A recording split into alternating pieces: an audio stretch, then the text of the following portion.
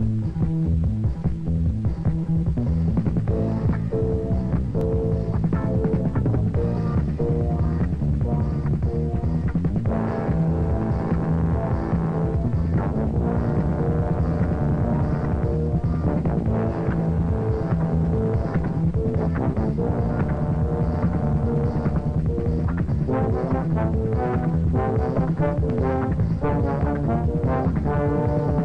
Gasoline prices have risen over 150% in the last decade. The fad of watching fuel consumption has become a necessity. Few people can afford the luxury of the monster gas gulper, the inefficient engines, or haphazard automobile maintenance. Like their household finances, drivers want to learn to budget gas, to squeeze as much distance as possible from each expensive tank full.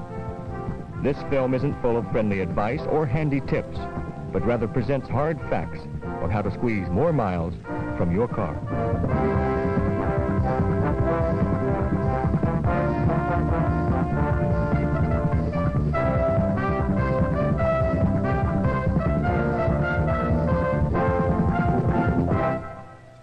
It's to the advantage of both industry and the public to work together in solving the common problems of an energy shortage. Mr. Hodge, Ms. Davis, and Casey Tross are going to illustrate ways in which you can cut fuel consumption in your car. Now, these points require no special knowledge of engines, but do require a conscientious effort by you, the car owner.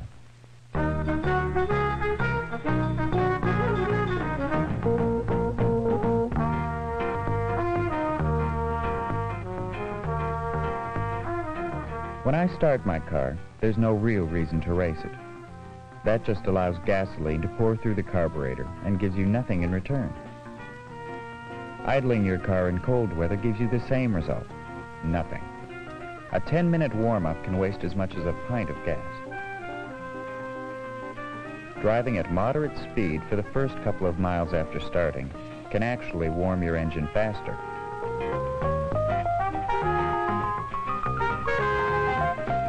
Just because you're driving doesn't mean you should automatically apply heavy pressure to the gas pedal.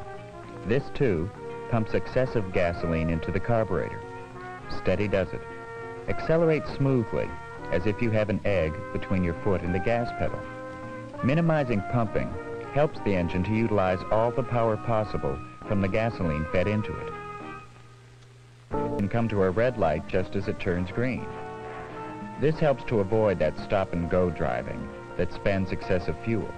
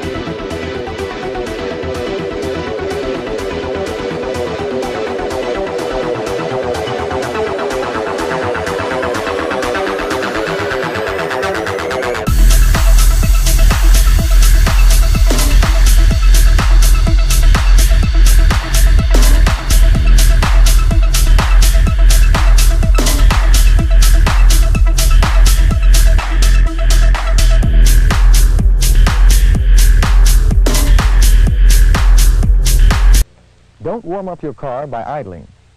Accelerate smoothly when starting and passing. Shift quickly into high gear. Avoid jackrabbit starts. Keep your speed at about 50 on the highway. Don't coast in neutral. Keep your tank at least half full and carpool.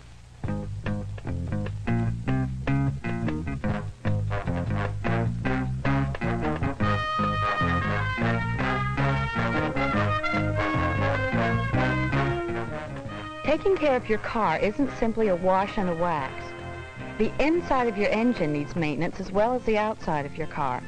And an engine that performs properly saves plenty of gas.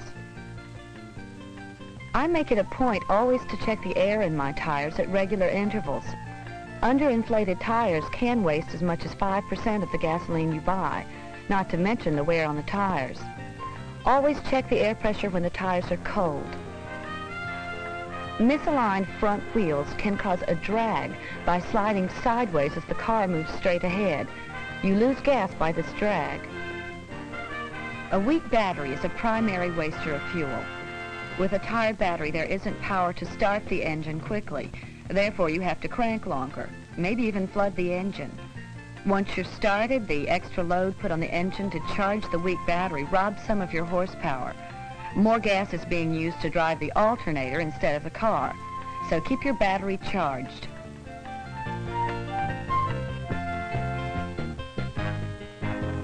Your cooling system must work correctly to assure a proper operating temperature for the engine. Keep the cooling system clean and maintain some type of year-round coolant at the level specified in your owner's manual. The pressure cap on the radiator should have a good seal to prevent the coolant from boiling over. Spark plugs are the most important item in a tune-up and the one item that most affects engine performance. New, properly maintained plugs can result in a 7 to 10% gain in engine performance and gasoline economy. One bad plug can waste as much as one gallon of fuel for each 15 you buy. Distributor points should be replaced along with the condenser every 10 to 12,000 miles. Your carburetor mixes fuel and air. If yours is off balance, you lose engine performance, which means wasted gas. A dirty air filter element inside the carburetor air cleaner can cause this off balance. Replace the filter every 10 to 12,000 miles, or in especially dusty areas every 5 to 6,000 miles. A dirty air filter can cut gas mileage as much as 10 percent. Have your servicemen check the small fuel filter on the inlet fuel line between the fuel pump and the carburetor every 12,000 miles. Something could obstruct the flow of gas at that point. A clean carburetor that doesn't stick in the various linkages furthers gas economy.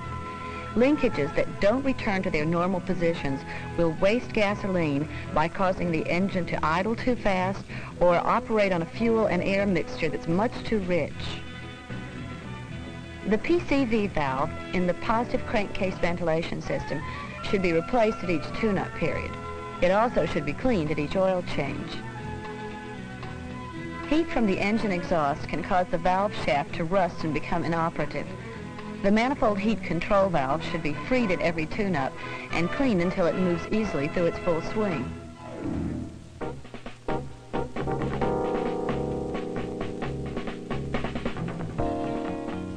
Like all the little extras I ordered with my car. Air conditioning, automatic transmission, but I also realized that each time I added an extra, I detracted a little from my mileage potential. An average of 9% of the gas dollar goes towards operating the air conditioner. Use it wisely.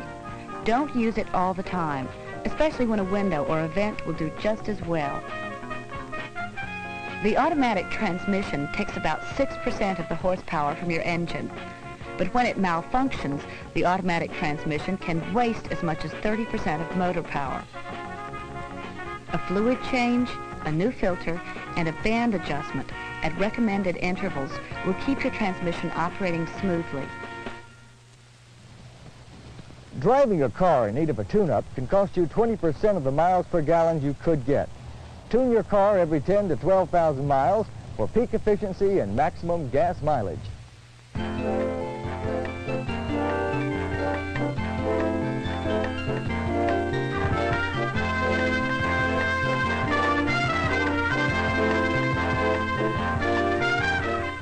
A lot of my friends find it easier to simply say, fill her up, than to specify the correct fuel for their cars.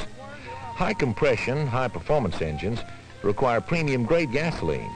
Most compact and imported cars can be operated on leaded regular grade gasoline for maximum economy. Most 1975 and later model cars require unleaded regular grade gasoline for the catalytic converter to function properly. Using a fuel with a lower octane quality than your car needs will waste fuel by not giving an engine all the power it requires.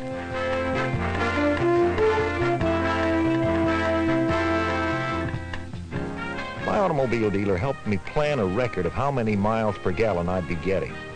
By keeping track, I can tell if I need car maintenance or my driving needs correction. I simply record the mileage on the odometer each time I fill the tank and how many gallons I needed.